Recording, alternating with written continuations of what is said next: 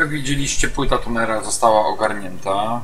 Został naprawiony zasilacz e, części e, cyfrowej. Czyli stabilizator wymieniłem, kondensator wymieniłem, bezpieczniki powkładałem, oczywiście nowe. E, płyta zadziałała, to nie znaczy, że to jest koniec pracy nad tunerem, bo tuner może być, wiecie, odstrojony. Trzeba pomierzyć też jeszcze napięcia wszystkie. Czy warikap będzie pracował, ten bezpieczniczek, czy będzie dobrze. Na razie napięcie jest ok, nie? E, No i, i teraz tak. Bo to jest na syntezie, jak widać, na.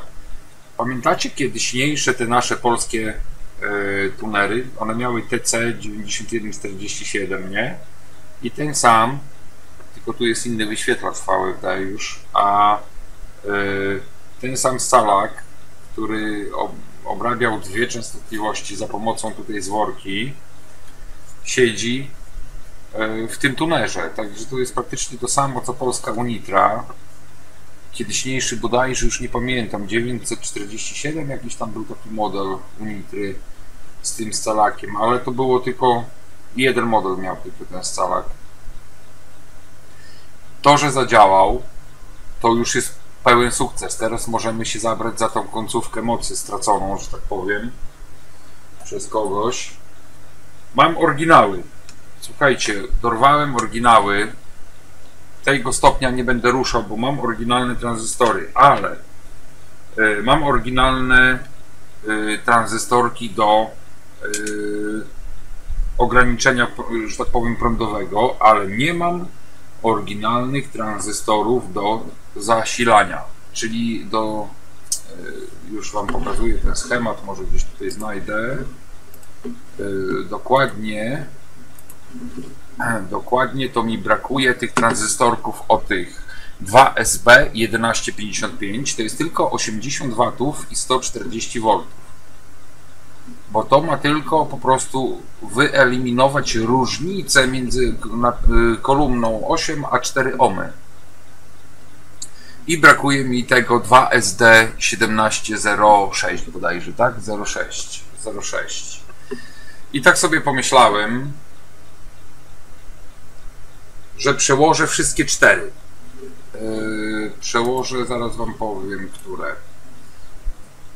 Zrobimy tutaj 200-watowe tranzystorki, te y, 2 SC5200 i 2 SA1971 czy 3, już nie pamiętam.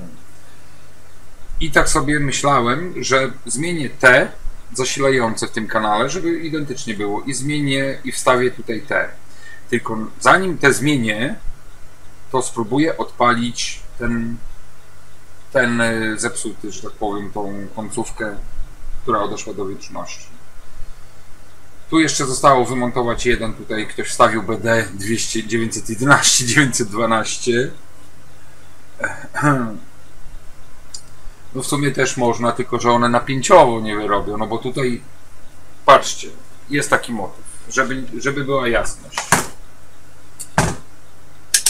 Yy, Między kolektorem a emiterem końcówki mocy zmierzymy sobie napięcie napięcie. Czekajcie, będzie widać. Tutaj nie ma żadnych blach, nie ma, żeby zaraz nie było akcja, akcji, reakcji.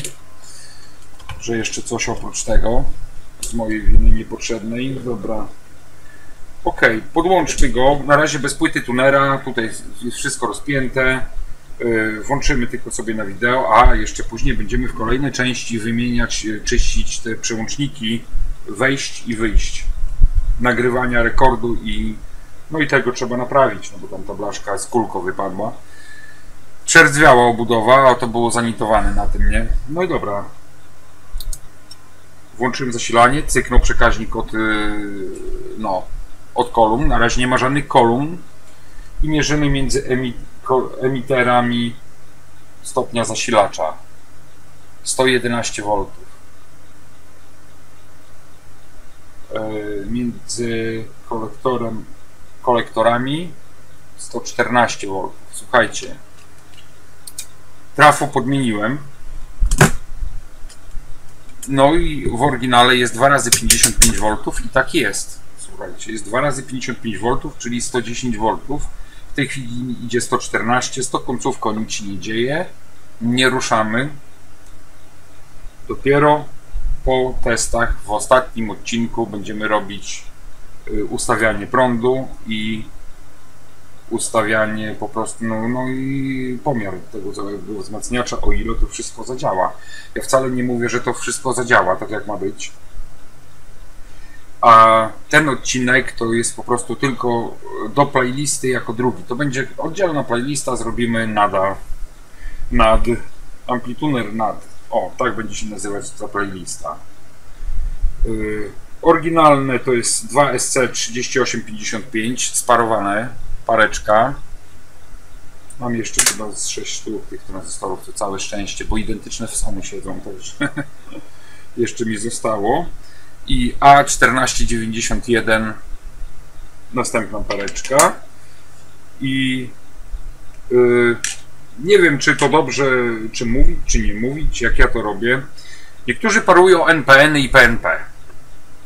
Jeśli siedzi taki zwykły wzmacniacz na jednym NPN i na jednym PNP, to w sumie nie ma aż takiej dużej potrzeby, żeby to parować. Bo i tak, i tak jeden jest rezystor emiterowy i na jednym wytraci się ta różnica mocy. Ale jeśli siedzi na przykład 3, 2, dwie sztuki, już, już tak jak tutaj nawet, dwie sztuki NPN-ów, dwie sztuki PNP, to parujemy tak, żeby natężenie prądu płynące między kolektorem emiterem było identyczne w każdym jednym tranzystorze. Jeśli będzie tam 8 NPN-ów, 8 PNP, to sparujmy już nie tak, że NPN i PNP dobieramy do, do NPN-ów, tylko chociaż wystarczy chociaż sparować NPN-y wszystkie identyczne i PNP.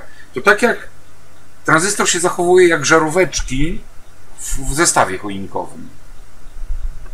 Tylko w zestawie choinkowym żaróweczka to jeszcze potrafi zrobić zwarcie, nie? A tranzystor jak sieknie, to nie ma przejścia. Znaczy ma zwarcie.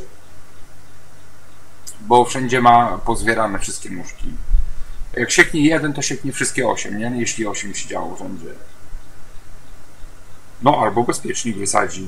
A nie wiem, dlaczego tutaj bezpiecznika nie wysadził. No, w sumie to ja myślę, że to po prostu ktoś robił i jemu to się nie udało odpalić. O, bo to nie było. Y, ci, którzy oglądali pierwszą część, to nie było możliwości, żeby to odpalić na tym tranzystorze, y, gdzie wszystkie te. Czekajcie, jakie to się działo już. Ja nawet nie wiem, co tu się działo. Wybrałem je po prostu nawet y, miernikiem, sprawdziłem wszystkie przebite tu się działy jakiś bełu. Nie, tipy. Tip 35, tip 36, a ten jeden inny, słuchajcie, całkowicie. Eee, w innej obudowie. Tip 32, no, no fajnie, to, to tip 32 to nie jest na napięcie 114 V. O, wysadziło końcówkę, nawet nie będę nic mówił. Tranzystor od spoczynkowego prądu jest ten sam, jest wszystko i gra, tylko że nóżki ma, a nie, dobrze, nóżki ma przedłużane, zostaje. Chyba, że coś będzie się działo, ale to za chwilkę wyjdzie. Jak odpalimy zasilanie. Jak odpalimy te dwa tranzystory, których jeszcze tutaj nie posiadam, zaraz będę leciał pewnie, albo jeśli w sklepie nie będzie, to będę za chwileczkę zamawiał. Yy. I kolejnej części, słuchajcie, będziemy odpalać stopień mocy. Odpalimy stopień mocy, tak myślę, a w ostatniej już tak jak mówiłem, wspominałem, będą pomiary i ustawiania napięć, prądów. Sprawdzenie jeszcze tunera dojdzie czy czułość ma to samo, czy wszystko jest to samo. No kurczę, no ktoś podłączył kabel, wymienił na 220, trafo 110, nie?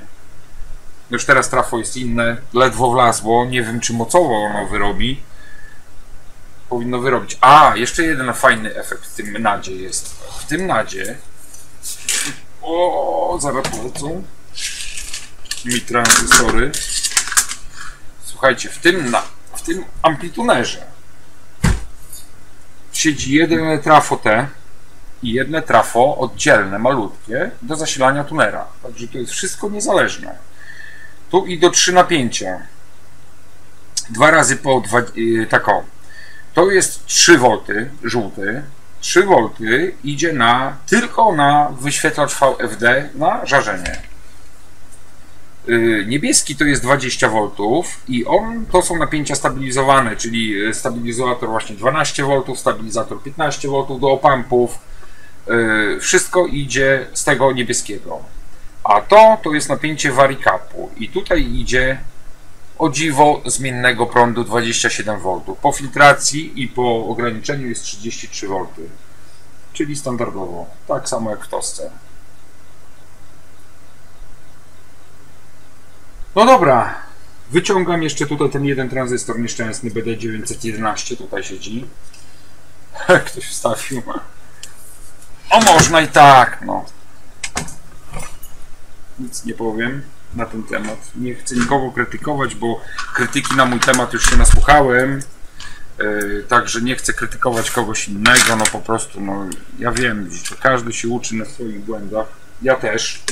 Nie powiem, że nie, bo to wcale nie, nie jest takie wesołe, że cię ktoś tam dobrze, jak masz jakiegoś takiego mistrza przy sobie, który wy, robi to na co dzień non-stop to wtedy można coś tam podpatrzeć, nie? I to, jeśli się tym nie zainteresujesz, to nie ma, nie ma opcji, żebyś cokolwiek się nauczył. To musicie być ciągnąć i interesować od rana do nocy, a czasami nawet i do następnego rana. To by było tyle z mojej strony. Pozdrawiam.